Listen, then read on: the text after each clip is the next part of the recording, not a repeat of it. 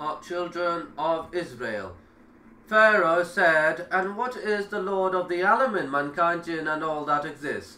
Moses replied, Lord of the heavens and the earth and all that is between them, if you seek to be convinced with certainty.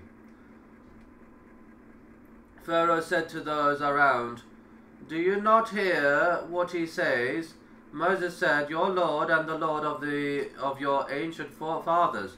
Pharaoh said, Verily, your messenger who has been sent to you is a madman. Moses said, Lord of the east and the west and all that is between them. If you did but understand, Pharaoh said, if you choose an Illah, a god other than me, I will certainly put you among the prisoners. Moses said, Even if I bring you something manifest and convincing, Pharaoh said, Bring it forth then, if you are of the truthful. Moses proves himself right. The degree of the conflict suppressed in, the, in this dialogue reached its apex. Thus, the tone of dialogue changed. Moses used a convincing intellectual argument against Pharaoh. However, Pharaoh escaped from the circle of the dialogue based on the logic and began a dialogue of another type, a type which Moses could not bear to follow, a dialogue of menacing and threatening. Pharaoh deliberately adopted the style of the absolute ruler. He asked Moses how he dared to worship Allah. Did he not know that Pharaoh was a god? After declaring his divinity, Pharaoh asked Moses how he dared to worship another god. The punishment for this crime was imprisonment. It was not permitted for anyone to worship any uh, one other than the Pharaoh. Moses understood that the intellectual arguments did not succeed. The calm dialogue was converted from sarcasm to mentioning charity, then to scorn, then to the threat of imprisonment. Moses said, Even if I bring you something manifest and convincing, Pharaoh said, Bring it forth. Then, if you are the truthful, are of the truthful. So Moses threw his stick, and behold, it was a serpent, manifest. And he drew out his hand, and behold, it was white to all beholders. Moses defeats the magicians. Pharaoh's amazement, amazement turned to terror, fearing that his rule was, a, was in danger. He addressed his advisers. These are two wizards who will strip you of your best traditions and drive you of the country with their magic. What do you advise? They counseled Pharaoh to detain Moses and his brother while they summoned the cleverest magicians in the country. Then they too could show their skills of magic and change sticks into serpents. In this way, they sought to reduce the influence of Moses' miracles on the masses. Pharaoh detained Moses and Aaron. He dispatched carriers, couriers all over the land to enlist the best magicians. He offered each successful magician a big reward, including appointment as a royal courtier. On the customary festival day, festival day, which attracted citizens from all over the Egyptian empire, Pharaoh arranged for a public contest between Moses and the magicians. The people came in droves as they as near before when they heard of the greatest contest ever between Pharaoh, Pharaoh's many magicians, and a single man who claimed to be a prophet. They had also heard of a baby who had once floated down the river Nile in a basket, landed on, Prof, on Pharaoh's palace grounds, been reared as a prince, and who later had fled off for killing an Egyptian with a single blow. With a single blow. Everyone was eager and excited to watch this great contest. Before it began, Moses arose. There was a hush in the huge crowd. Moses addressed the magicians, Woe unto you if you invent a lie against Allah by calling his miracles magic and by not being honest with the Pharaoh. Woe unto you if you do not know the difference between the truth and falsehood. Allah will destroy you with his punishment, for he who lies against Allah fails miserably. Moses had spoke sincerely and made the magicians think, but they were overwhelmed by their greed for money and glory. They hoped to impress the people with their magic and to expose Moses as a fraud and a cheat. Moses asked the magicians to perform first. They threw their magical objects down on the ground.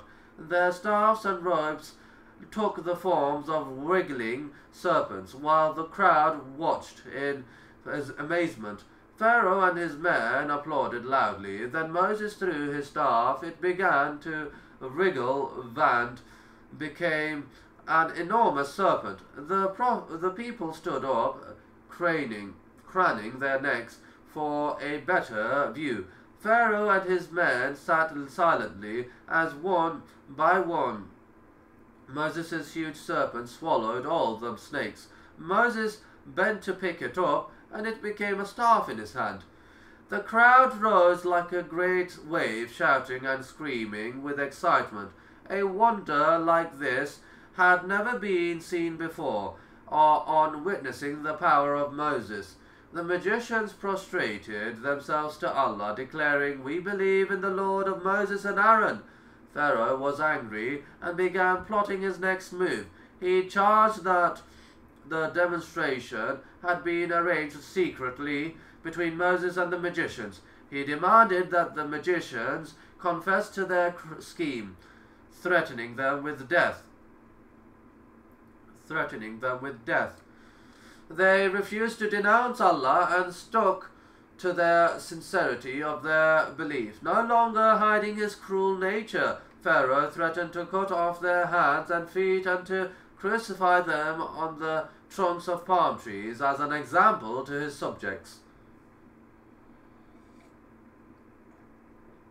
Almighty Moses de uh, defears the magician. Almighty Allah recounted this event. He, Pharaoh, said, Have you come to drive us out of our land with your magic, O Moses? Then verily we can produce magic the like thereof. So appoint a meeting between us and you, which neither we nor you shall fail to keep, in an open wide place, where both shall have a just and equal chance, and beholders could witness the competition. Moses said, Your appointed meeting is the day of the festival, and let the people assemble when the sun has risen forenoon.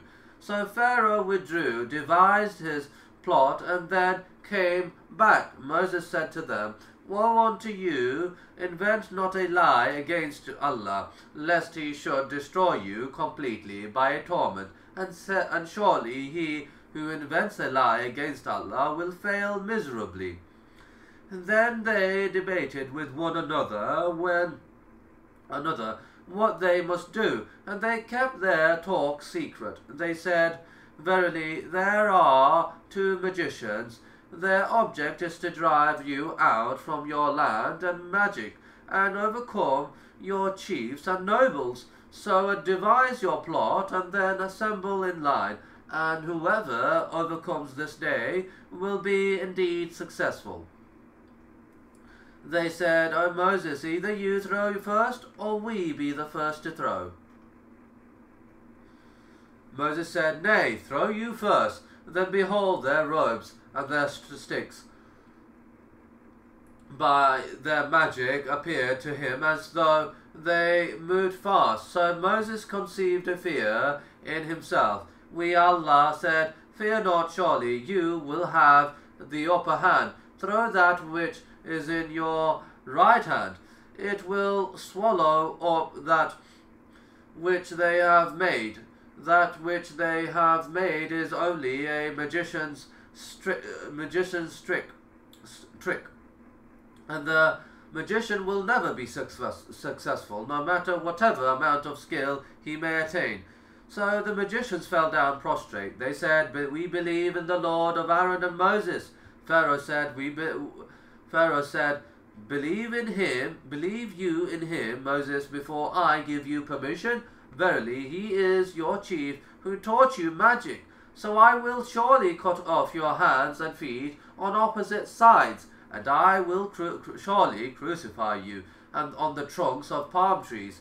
And you shall surely know which of us, I, Pharaoh, or the Lord of Moses and Moses, Allah, can give the severe and more lasting torment.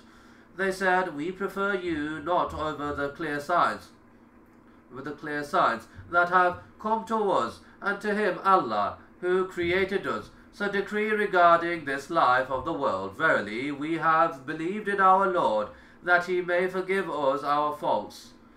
And the magic to which you did compel us, and Allah is better as regards reward in comparison to your Pharaoh's reward and more lasting as regards punishment in comparison to you punishment to your punishment. Allah Allah's description of believers and non-believers. Verily, whoever comes to his Lord as a mujrim, criminal, polytheist, disbelie disbeliever in the oneness of Allah and his messenger, sinner, then surely for him is hell. Therein he will neither die nor live. But whoever comes to him, Allah, as a believer in the oneness of Allah and has done righteous good deeds, for such are the high ranks in the hereafter, everlasting gardens and paradise under which rivers flow, wherein they will abide forever. Such is the reward of those who purify themselves by abstaining from all kinds of sins and evil deeds which Allah has forbidden, and by doing all that which Allah has ordained. The people's non-reaction to the defeat of the magicians. The magicians represented the elite of the Egyptian society. They were its scholars. They prostrated before righteousness, but the people abandoned them and left them to their fate. The path of righteousness was plain, but in spite of this the people did nothing but stand by and watch. If every one of the Egyptians had stopped to pick up a piece of brick and had thrown it at Pharaoh, he would have fallen dead and the history of Egypt would have been changed. This obviously did not happen. None of the people moved. Each one stood motionless in his place. The people did nothing but watch, and they paid the price of this inactivity. They were drowned later as the price for the cowardice of one day the Pharaoh's reaction to Moses' victory. Moses and Aaron left, and Pharaoh returned to his palace. Pharaoh entered to his palace